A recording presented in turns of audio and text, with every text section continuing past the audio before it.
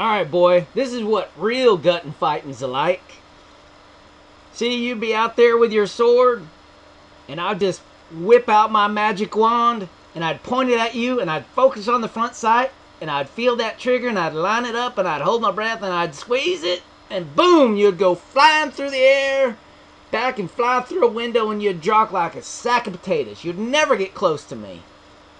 I'm super, super aware. And this is how I train. This is hardcore gun training for the real things that happen on the street and people threaten your life and you you push that gun out you line up that sight and you squeeze that trigger and boom the fight's over that's how a real gunfight works you and you getting off your X and counterattacking and grabbing the other guy's weapon and this, you know, moving your gun out of the way and being able to stop somebody coming into you and all this stuff, that's that'll never happen. That'll never ever happen.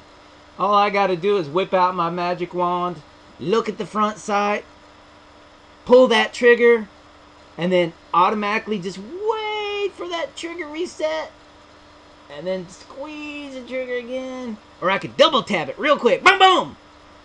And it's over. Yeah, that's all you got to do for a real gunfight. You obviously don't have a clue what you're doing.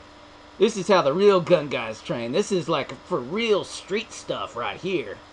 You jumping around, that ain't even safe. You can't get into a fight and like move around and have all kinds of unexpected stuff and have to move and have to defend yourself from other weapons and people's arms and stuff. That's crazy. Just whip out your magic wand and bang! It's over.